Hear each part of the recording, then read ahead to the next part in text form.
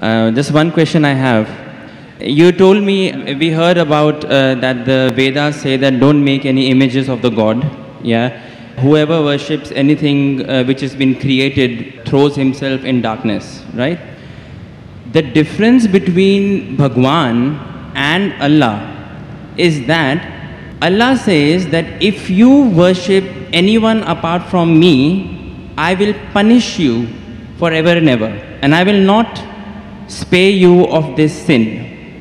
But nowhere in Hinduism's books would you see that Bhagwan is saying, that if you worship anything apart from me, you will be put in Narak, which is uh, the Hindi word for uh, hell, forever and ever. Now, what, why I'm saying that to you is, the concept of God in Islam, Christianity, and Judaism is the same in which he feels bad if anyone worships anything else apart from him. But the concept of the other side of the religions, which is Hinduism, Buddhism, or those sides, the concept of God there, I think, is more, the God of those religions is more large hearted because he doesn't say to you that I'm going to put you in hell if you don't worship me. Although, although I understand that it is wrong to worship idols, it is wrong to worship created things. But I do feel that because that, uh, I, I somehow feel that, you know, Wa Basically, God, there is nothing like Him, right? So why in the Quran or the Bible or the Jews' scripture we are attributing a human uh, feeling to God that, let us say, my father gives me everything, he gives me all the money, and I give that money to the poor people, right? Now, one day, if I forget my father, yeah, so my father will feel bad. But this is the human nature. God is more large hearted than that. Even if I don't worship him, he should have no problems. You know, he should not put me to hell because that's egoistic. Egoism is a part of human nature, not of God, is what I feel, according to my uh, Understanding.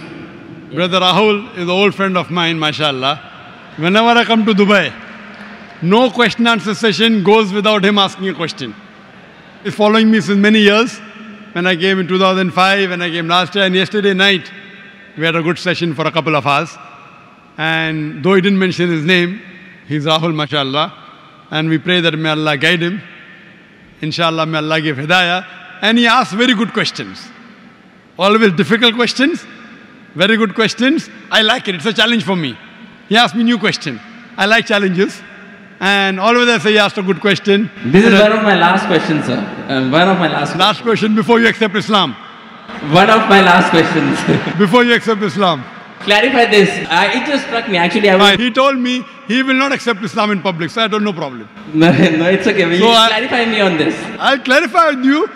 And I won't ask you to accept Islam in public. We have done that yesterday. So Islam is a glorious religion, and I am. It's given me a lot of peace, and I can say many good things about it. But please clarify. And you told, doubts. I'll clarify. You told me you have spent more time studying Islam than what you spend time in getting your degree of engineering. It is right. That's right. And I enjoy it more. Therefore, I enjoy your questions also. The brother asked a very good question, very attacking, very tricky, difficult question.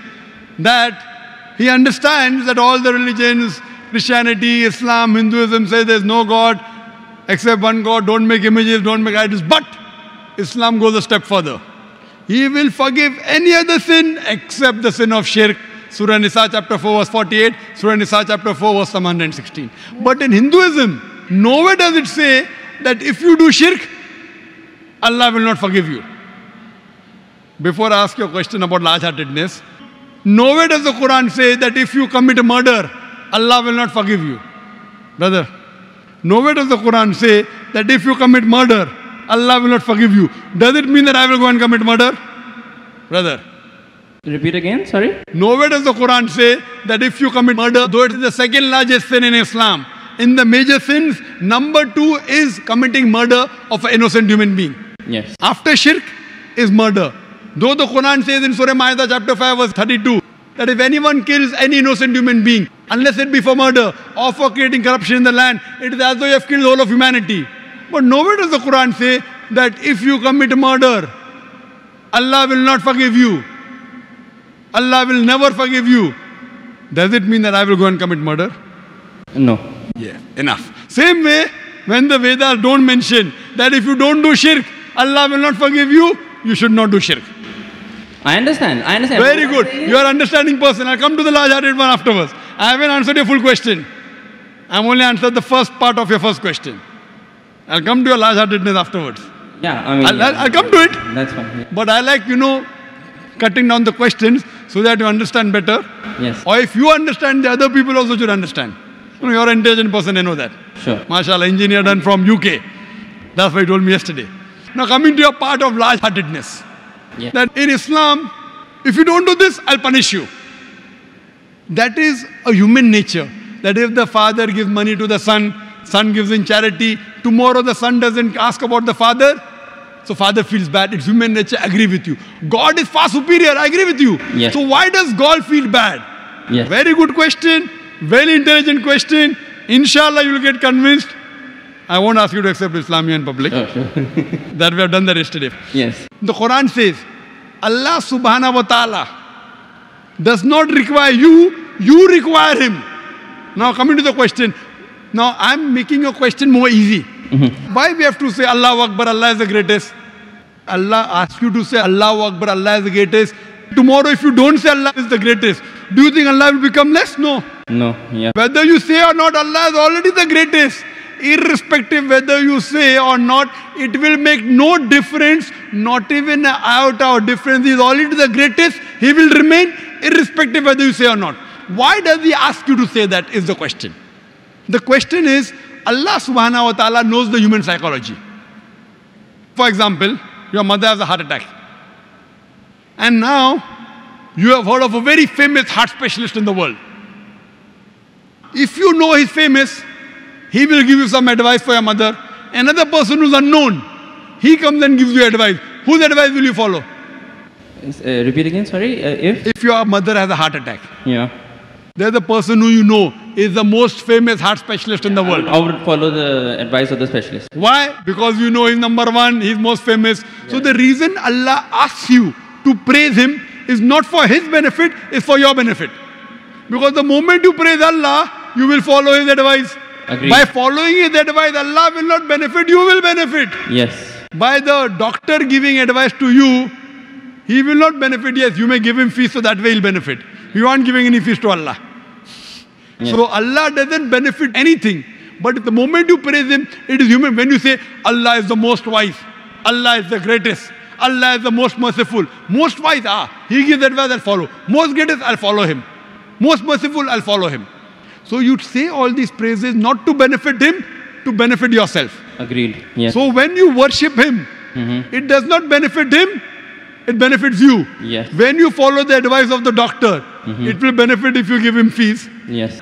You don't give any fees to Allah. Yes. It benefits you. Yes. So same way, Allah is large-hearted. By punishing you, hmm. do you think He will benefit? No. By punishing, he becomes. Uh, is I'm the, I'm coming to it, brother Rahul. Yeah. Yeah. Let yeah. me complete my answer. Sure. Sure. Yeah. By punishing you, He will not benefit, but He is giving you a fear. Why? If you have alcohol, He will punish you. If you have drugs, He'll punish you. Whether you have drugs or what difference does it make to Him? Now, if He says, okay, don't have drugs, but if you have drugs, I will not punish you, then will you have drugs or not? You will have. If I give an examination, write two No, I won't have. If I if I'm convinced it's wrong for me, I won't have. I don't need that ah. fear of the hell. The Correct. fear of the hellfire to be put in my mind Yes. to yes. avert me. God convinces people in different ways. Some people with reason and logic. You're a logical person, you're convinced with logic. Some people want fear, some people want punishment, some people want reward. There are three, four types of ways which Allah speaks. You get convinced with reason and logic, you're like me. Yeah. You're like me. Yes. Yes. Some people, they are not convinced with reason and logic. Ah, lo- leave logic. Ha, I'll get reward, I'll do it. I'll get punishment, I'll stay away. So if लेकिन सच क्या है But- होता क्या है reality में E- does everything- it is the fear is is it reality वो yes, होएगा yes, I'll tell you, I'll tell you, I'll tell you. reality is that the hellfire is there and the punishment is there Brother, right let, let me complete the answer. yeah yeah Uh, will you allow me to complete the answer or you will? yes please Let me complete, I'll give you a chance. I'll give you a chance to say that you're convinced. Yes. But before I complete my answer, you're interjecting. Sure, sure. Yeah, please. After I complete, I'll give you a chance and ask you. Sure, yeah. Now, there's a teacher taking an examination. 2 plus 2 is how much? 4. Convinced? Now, there are some people, the teacher says, okay, now in the examination, those who write correctly will get plus point, will pass. Those who don't write correctly will fail. Now, when the teacher is telling hundreds of things, it's difficult for everyone to remember. But if they want to remember, you write. If you write correct, I'll pass you. If you write wrong, I'll fail you. So now the student starts memorizing. He starts like you passed your engineering. You are afraid of failing. Yes. If you wouldn't have studied, you would have failed. So if teacher says, no problem, even if you write wrong, I will give you part degree. Will you study? No. Ah, though you're logical, Yeah. you understand Boyle's law, you understand trigonometry, you understand chemistry, but to remember, you have to stay awake, you have to slog. Teacher says, no problem, you understood? You write in the examination, right or wrong, 2 plus 2 is 3, I will pass you. Will you study? Well, it depends. I won't, but probably someone who is more sensible I'm would study you. to learn some knowledge. Correct. If the teacher says, now your aim is to get the degree, Yeah. Once you understand, if you fail, if you fail, you won't get the degree. Yeah. So here Almighty God speaks logically. Some people logically doesn't make a difference whether hellfire is or heaven is there. Other people, you do it, you get a reward.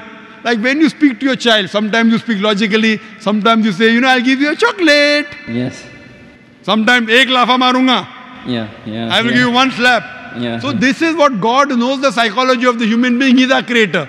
Sometimes logic, sometimes reasoning, sometimes reward, sometimes punishment. But once he says he has to follow, he can't lie. Once he says, he has to follow. So he's trying to convince you, suppose your son, Yeah. Yeah. I know you're not married. Yeah. I know you're not married. Inshallah, one day when you get married, and if your son, Yes. and your son, inshallah, I'll marry a Muslim, inshallah. Yes. Inshallah. So your son, when you have a son, yeah. five years old, he wants to jump from 10th floor.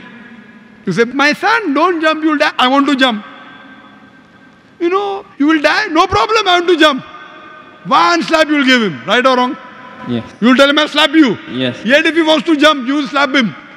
A Yes. father is cruel to be kind. Is your intention to hurt him? No. Your intention is to hurt him little so that he prevents from the bigger hurt. Yes. So here if he says, no, no, I'm only acting. Maybe for little time you will think, I'll punish you and you don't punish him. But if he wants to jump, you will not wait till he jumps. You will give him one tight slap.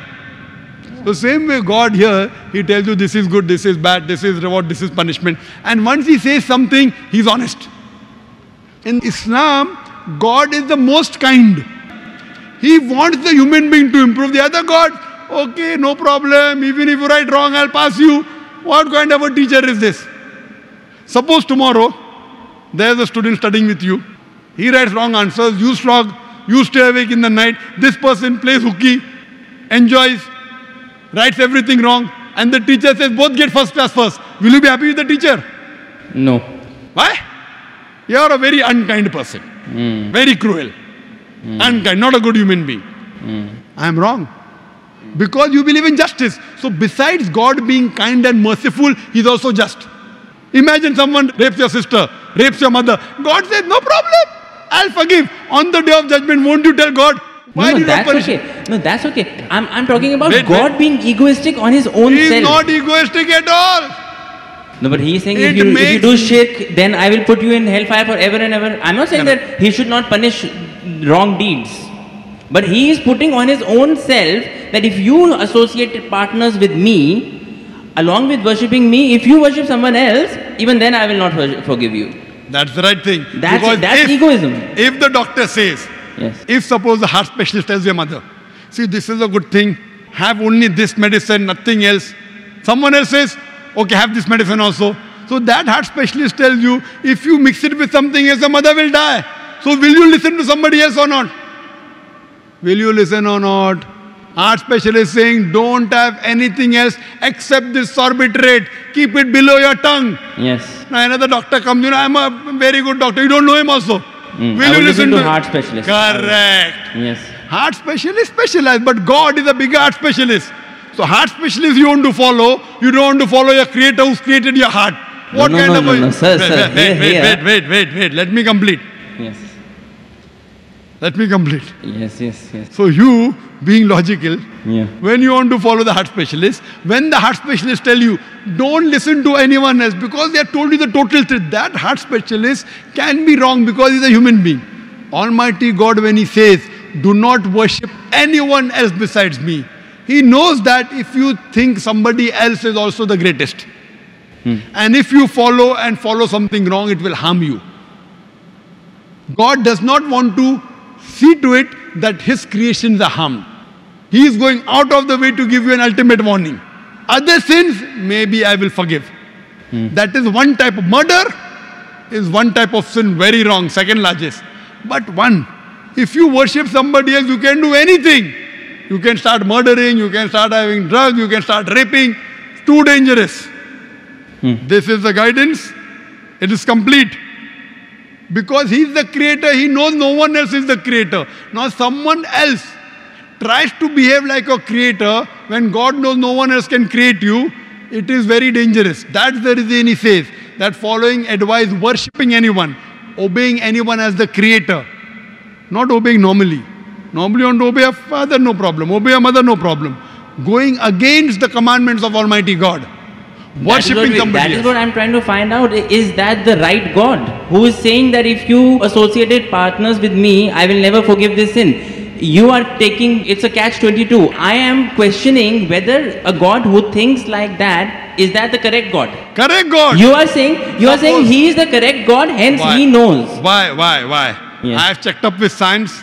This Quran passes Yes. the test. When I put science to your Hindu scriptures, it fails. Yes. When I put science to Bible, it fails. Hmm. So even if I agree with you with my earlier question, hmm. maybe this is ambiguous. Fine. Hmm. 80% is proved to be 100% correct. 20% is ambiguous. Inshallah, logically, even this will be right. If I have to put that way.